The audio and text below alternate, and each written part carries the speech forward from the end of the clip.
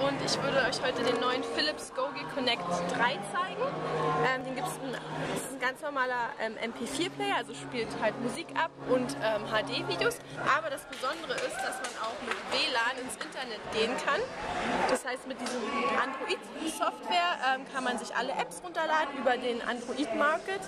Ähm, über 300.000 Apps gibt es dort. Man kann zum Beispiel Angry Birds spielen, äh, auf YouTube surfen und natürlich ist natürlich Philips Songbird dabei, das heißt die Musik kann man auch hören. Und ähm, ja, es gibt eigentlich alle Apps, die man so braucht. Und ähm, ja, genau, es ist auch ziemlich guten Preis, 150 Euro erhältlich.